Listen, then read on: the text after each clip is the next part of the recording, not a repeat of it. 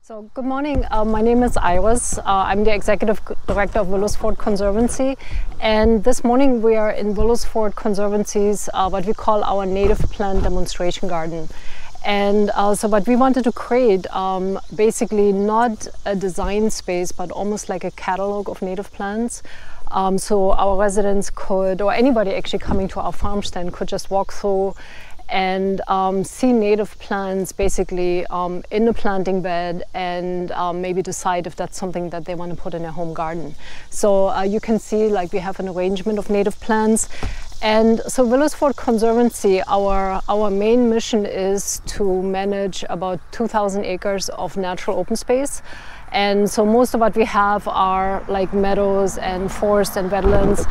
Um, but we also uh, support the residential community of Willowsford, and that's going to be over 2,000 homes.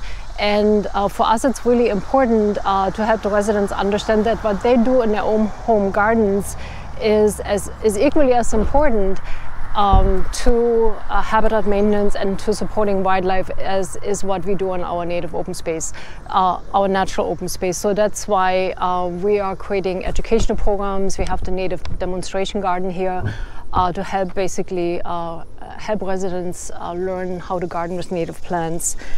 And um, so this garden was planted last year, so it's still fairly new. And so you can see there are a few gaps and what we're hoping is over time uh, to fill in. Uh, we're hoping to also add some small native shrubs uh, that, that residents can select from and um, you know, maybe also showcase some design ideas and plant combinations. But uh, the other thing you can see is it's a very sunny garden.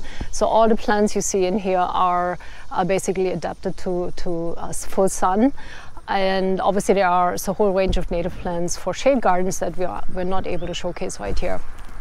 And um, so in addition to having the native plant garden, uh, we also try to provide educational opportunities, like we have hosted Landscape for Life a few times. Uh, we just had a container gardening with native plants. Um, so to help residents understand if you don't have a full garden, you can certainly put native plants in containers. They're really well adapted. Uh, we have lectures, uh, we have uh, plant walks, so we have a wide range of opportunities that residents can learn from.